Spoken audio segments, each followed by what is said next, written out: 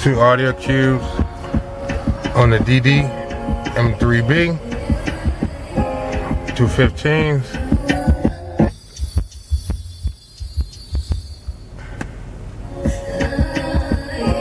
Show you what it